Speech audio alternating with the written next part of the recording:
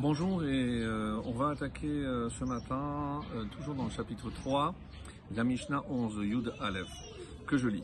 Rabbi El-Azar Hamoudai Omer, Hamechalel donc Rabbi Eliezer avait la coutume de dire, Hamchalel Takodashim, celui qui profane Kodashim, les objets sacrés.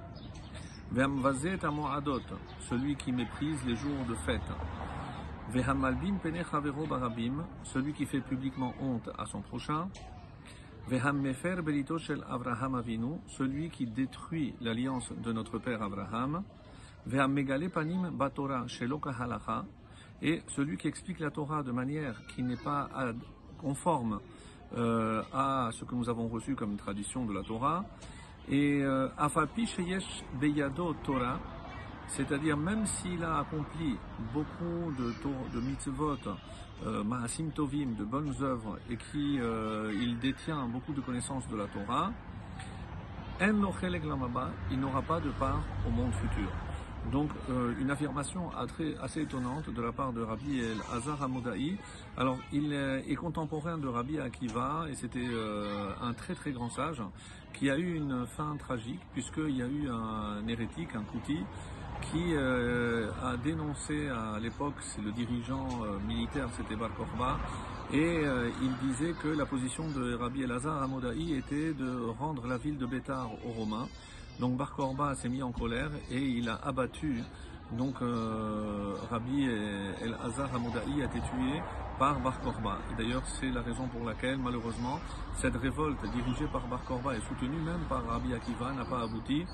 Et comme vous le savez, la ville de Bétar sera entièrement détruite, malheureusement. Alors, euh, que, veut dire dans cette Mishnah Rabbi El Modaï Alors, il s'attaque euh, à cinq façons de s'opposer à la Torah ou à Hachem. Donc si on veut euh, essayer de comprendre euh, quels sont les types d'opposition à la Torah sous toutes ses formes, et il les a classifiés en cinq, et c'est pour ça qu'il y a cinq parties, puisque chaque partie de cette Mishnah correspond, à une des façons de euh, s'opposer à la Torah. Alors, la plus grave, évidemment, c'est ce qui nie l'existence de Dieu. Et euh, cela, c'est la première partie, qu'est-ce qu'il avait dit? Celui qui profane les, euh, les, objets, les objets sacrés. Pourquoi? Parce que quand le temple existait, je pouvais dire cette vache est consacrée et elle n'était intouchable. Donc lui, il dit qu'il n'y a pas d'objet sacré, ça veut dire quelque part il nie l'existence de Dieu. La deuxième catégorie, c'est ceux qui pensent que Dieu existe, mais euh, pas le monde, il ne dirige pas le monde. Et quelle est la deuxième partie? Hamvazet Amoadot, celui qui méprise les fêtes.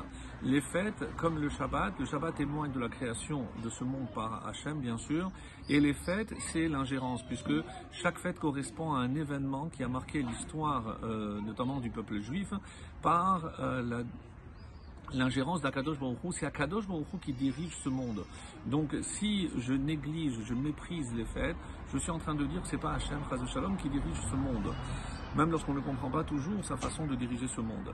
La troisième catégorie, c'est lorsqu'ils disent oui, il y a Dieu, il a créé le monde, mais euh, l'homme est comme une créature normale, comme n'importe quelle autre créature, donc euh, il n'est pas à l'image de Dieu. Et c'est ce qui me permet de, par exemple, de faire honte en public à un homme. C'est euh, parce que je ne considère pas que tout un, tout homme, tout être humain comporte en lui, une étincelle divine, une part d'Akadosh c'est évidemment l'âme. Il considère que le corps et l'âme ne font qu'un et que l'âme finalement se résume à toutes les fonctions organiques de la pensée ou autre du corps. Donc il n'y a pas de d'étincelle divine en l'homme et c'est ce qui me permettrait de faire honte en public. Donc c'est extrêmement grave. Ensuite, la quatrième catégorie, c'est euh, ceux qui euh, veulent bien reconnaître euh, l'âme humaine, mais par contre, ils ne sont pas prêts à accepter que parmi les humains, il y ait une élection. évidemment, on parle ici de l'élection du peuple d'Israël. Et qu'est-ce qui a fait que le peuple d'Israël s'est séparé dans l'humanité de tout le reste des humains? C'est l'alliance, la première alliance qui a été contractée avec Abraham Avinu. Donc ici, c'est pas simplement par rapport à la Brit Mila, mais c'est l'alliance, c'est-à-dire que Hachem a choisi les descendants d'Abraham. Ensuite, il renouvellera avec Yitzhak et Yaakov. Autrement dit, si je ne suis pas euh, en accord avec cette élection, alors qu'est-ce qu'il euh, qu'est-ce qu'il a dit? Celui qui nie cette élection, cette alliance-là. Et enfin, la cinquième, euh, c'est ils veulent croire que Dieu a créé le monde, mais euh, la Torah n'est pas divine. Et alors, qu'est-ce que je me permets de faire? D'interpréter. Je peux choisir certains commandements, d'autres commandements. Je peux mettre en doute que tel commandement a été dicté par Akadosh Baruch Et je ne m'attaque pas à Hachem ou à l'homme, je m'attaque à la Torah. Donc, peu importe.